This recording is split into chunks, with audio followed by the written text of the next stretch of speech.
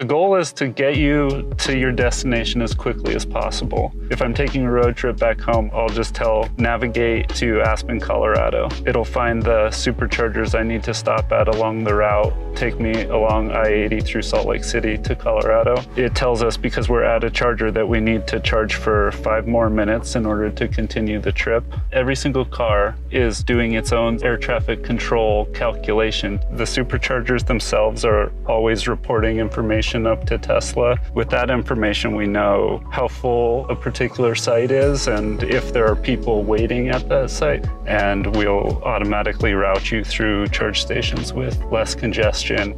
Once the car knows the route, the car UI knows all the information about the route, the initial battery pack temperature, forecasted wind, speed and direction, so that we can more accurately predict your energy consumption. And what the algorithm behind the scenes is doing is telling you to arrive at fairly low state of charge and then charge just enough to get to the next charger that it's selected. With Trip Planner, we've solved range anxiety.